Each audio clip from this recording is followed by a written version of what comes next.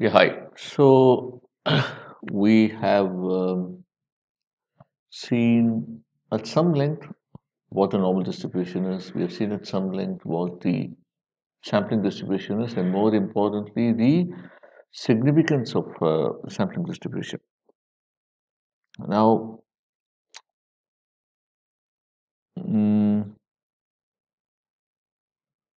let's go back to uh, one slide. If you remember, we started by saying that the original distribution is a normal distribution of height, from which we did the sampling distribution, and that also came up to be normal. And we also said most distributions in nature Mm. are not normal. Mm. I mean, are normal, sorry. Um, but we also said that if we talk about perceptions about a brand, it won't be normal because brand marketers are trying to uh, influence perception by communication. So it won't be normal. So when we take a sample survey, we're trying to measure things like brand perceptions and so on and so forth. So if the population data is not normally distributed, then how does this principle apply? In this example that we saw, the population was normal. From that, we could prove that the sampling distribution is normal, and therefore, one sample will be 67% likely to be very accurate and so forth. If the population is not normal because it's been influenced by communication or consumers' behavior and so on and so forth, then what happens to this? That becomes a relevant question, right? So, with respect to that question, there is something called the central limit theorem which comes to our rescue.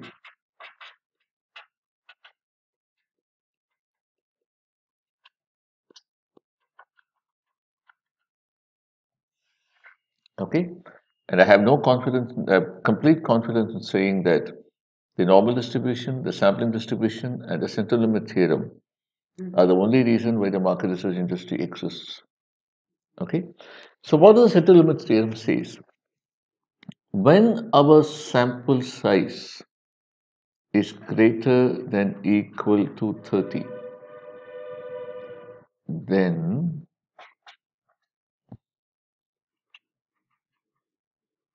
if our sample size is greater than equal to 30, then the sampling distribution is normal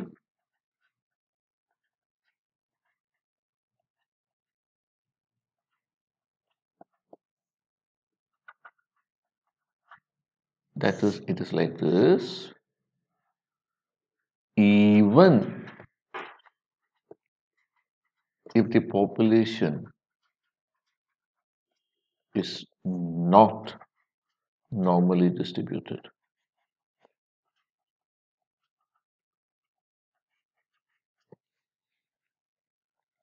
so what does this mean? It means if we take a sample size which is more than 30 then we're safe we don't have to worry about if the population is normally distributed we just go ahead and assume that our sampling distribution will be normally distributed, that the one sample that we have taken will be, you know, 67% likely to be very close to the mean, 95% likely to be quite close to the mean, and 99% likely to be at least somewhat close to the mean. All those properties will apply. All those things we can take for granted if ensure that our sample size is 30 at least. Okay, so this is the code. Now you'll remember that we talked about sample size determination. We said n equal to 30 is the golden rule. This is why it is the golden rule. Because when n is equal to 30, the central limit theorem says that even if the population from which the sample is drawn, even if that population is not normally distributed, then the sampling distribution of the mean or whatever we're measuring will be normally distributed and therefore all the principles of 67% etc etc will apply right? There's one more there are two conditions here to the n equal to 30 we can't blindly apply it one condition is that these formulae apply to simple random sampling they don't apply to say convenience sampling, for example. They apply only the probability sampling. Two, the n equal to 30 within a homogeneous set. That is an important part of it. It can't be 30 across the population. So if we're measuring height of people, just for example, then men should be 30 and women should be 30 because the height of men and women tends to be different mm. or you can you can even refine it further saying men from north india should be 30 men from south should be 30 women from north should be 30 women from south should be 30 so minimum 120 we require because each of this is a separate population when it comes to height they're different right north indian tend to be taller than south indians on average so the North Indian men are a separate population. It has its own logic of normal distribution, etc. South Indian men, North Indian women. So within each respective population, we have to draw a sample of at least 30 to make sure that we can stop worrying about this population normal. We can just straight away assume that the principles of 67%, 95%, 99% apply. And everything else in sampling and market research derives from that. Is this clear? This is the core. Is, is this principle clear? Is it also clear why this is the core? Because if we did not have this, then when we're doing a sample survey, we don't know whether it's going to be accurate. We're just guessing. But now we have rules which tells us, one, that we are accurate, which even tells us how likely we are to be, how much accurate. We can even calculate how accurate we are. Right? Clear? Okay, so let's go forward.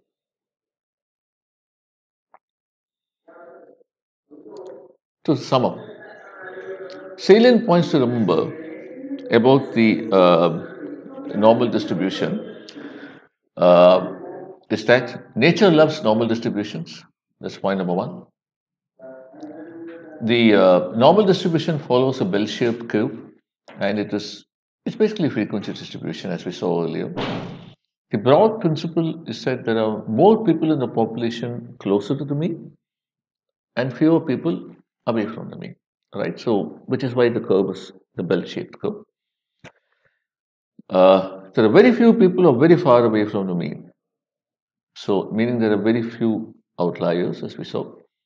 In numerical terms, if mu is the mean and if standard deviation, SD is a standard deviation of the distribution, roughly 67% of the population will be within mu plus or minus one standard deviation. Roughly 95% will be within mu plus or minus two standard deviations and 99% between mu plus or minus three standard deviations.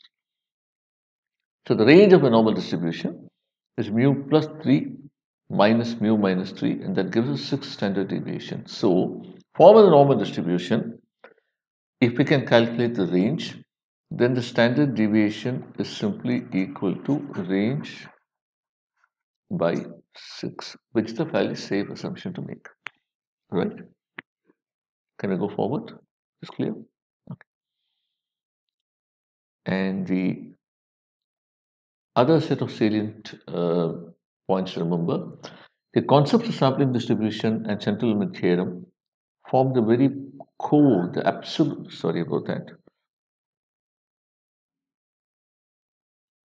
form the absolute foundation, the very core of all sample surveys because they tell us that a sample survey is likely to be accurate and they also give us a formula for calculating how likely we are to be accurate. So together, what the sampling distribution and central limit theorem tell us is that when we take a sample size of minimum 30 people, then we can be somewhat confident that our survey is very, very accurate. We can be very confident or quite confident, basically 95% probability that a survey finding is very accurate or quite accurate. We can be very, very confident, 99% probability that a survey finding is somewhat accurate. Right? From a market research perspective, it's actually enough to understand these salient points. Even if you haven't understood the entire mathematics of take thousand sample, thousand surveys, each time sample says 100, calculate the mean of each of those thousand, plot it like a frequency distribution. Even if you don't get all that intuitively, It doesn't matter. It is enough if you remember this with for the market researcher. It's not enough for the statistician. Right? Shall we close this chapter here? Any further questions? Okay. Right. Yeah. Thank you.